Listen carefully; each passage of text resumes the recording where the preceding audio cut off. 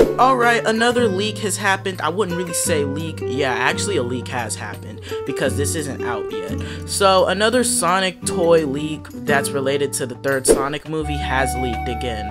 This happens a lot. This happens a lot. Like, literally, the whole trailer is out and we're still getting leaks. Like, how does this happen, bro?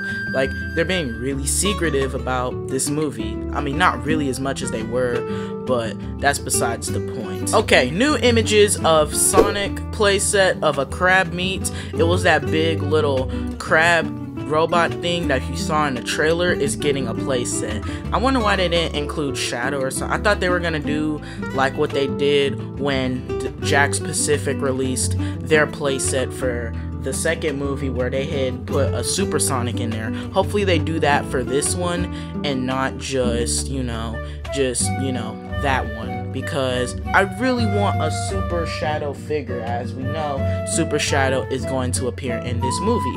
I am going to make that prediction. Don't ask why I'm going to make that prediction, but yeah, Super Shadow is going to be in this movie, and I really want to see a Super Shadow figure, not on shelves, but like kind of what they did last time, where after the movie came out, they released a Super Shadow, but while the movie was out, they kind of included him in a mystery little box. So if you like videos like this, keep the condom on. New outro is actually ready.